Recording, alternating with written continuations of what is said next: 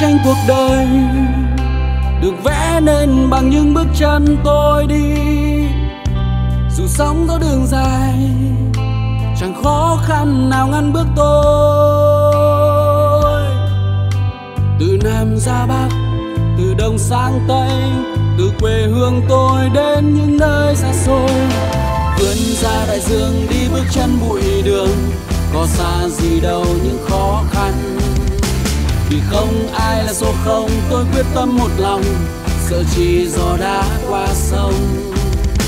Hãy đưa tôi vào gian nan, tôi sẽ chứng minh rằng người Việt Nam không bao giờ lùi bước. Để thấy tôi ở đó, một trái tim sụp sôi đam mê, để tôi sống với những khát khao. Để ngày mai đời khắc ghi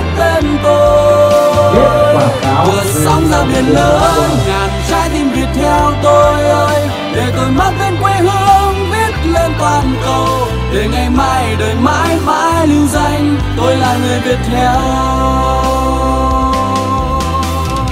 Trang Google.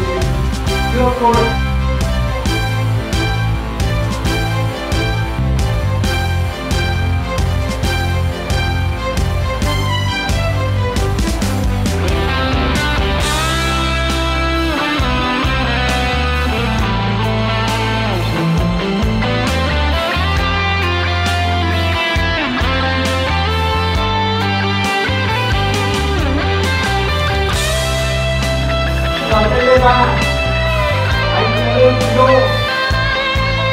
Chị đặng thị hiếu chị vi kiệt bức tranh cuộc đời được vẽ nên bằng những bước chân tôi đi. Dù sóng giữa đường dài chẳng khó khăn nào ngăn bước tôi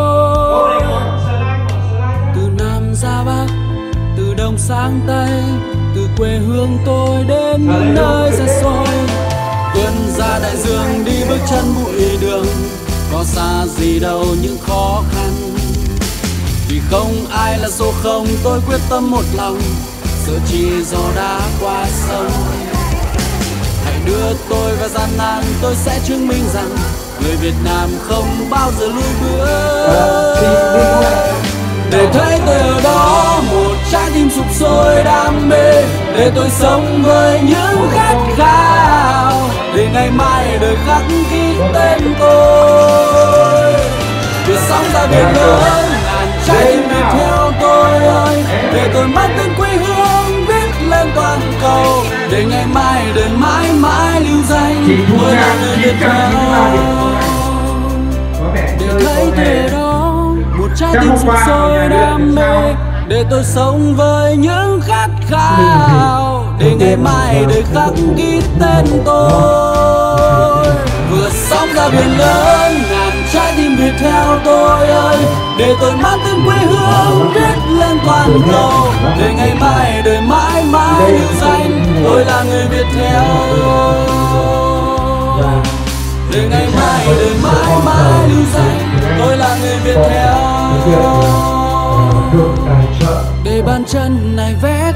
tranh cuộc đời người việt theo.